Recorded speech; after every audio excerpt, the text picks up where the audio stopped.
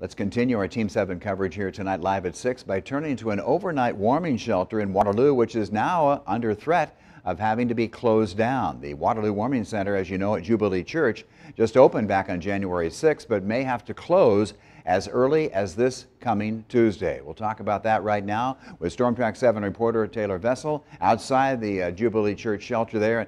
Taylor, this centers around the building really not meeting the fire code as a warming shelter. Tell us more about that. Yeah, Ron, unfortunately, the fire marshal deemed that this church isn't up to snuff to be used as a shelter. Now, they've been open for about 11 days now, serving about 10 people each night, many of them just down on their luck.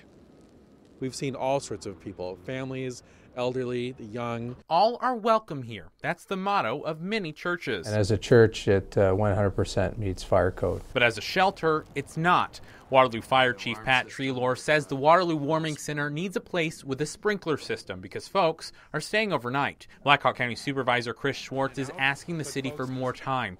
Right now, they have until Tuesday, so folks can still ride out this storm. We were really surprised because we didn't go into this all willy nilly. We talked to our colleagues in Linn County and Johnson County that have been operating overflow shelters for a number of years. Treloar said he's not sure what other communities are doing, but did consult with several other fire chiefs in Iowa. The vast majority of them said that they would shut down the center immediately because code is so clear on it. Mm-hmm.